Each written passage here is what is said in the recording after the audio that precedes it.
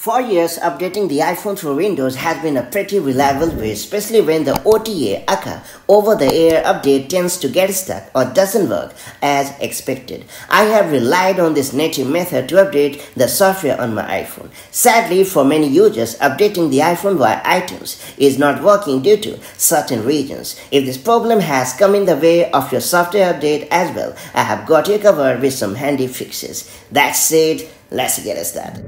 First off, I would suggest you to first create the iTunes app on your computer. For a handful of users, force killing the iTunes app has done the trick. Therefore, I would suggest you to give it a try. First off, to do so, you have to disconnect your iPhone from your computer. And then you have to press the Control plus Shift plus Escape keys to reveal the task manager.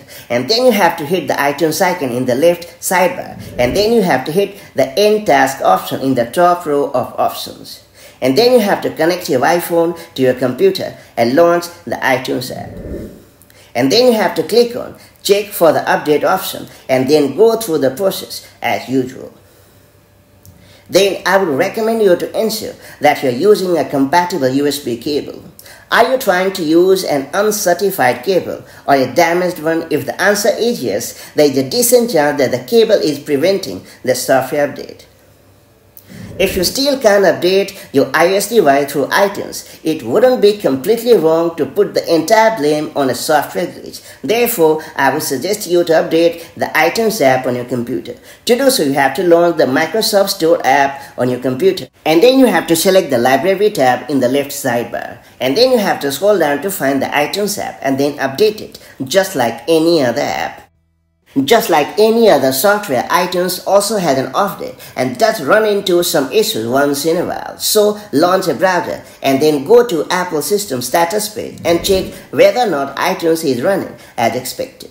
Should the problem persist, I would suggest you to reinstall the iTunes app. A fresh installation of the app might result in getting rid of the problem. To do so, you have to click on the Start menu and then you have to select the Settings app and then you have to go to the app section and choose the installed apps option and then you have to click on the triple dot icon right next to iTunes and then hit uninstall option in the menu and then you have to open the Microsoft Store app and then you have to search for iTunes and then install it. If nothing has worked in fixing this problem, I would suggest you to update your Windows device because I suspect that a software bug might be causing the problem. To do so, you have to launch the Settings app on your computer and then select the Windows Update option in the sidebar.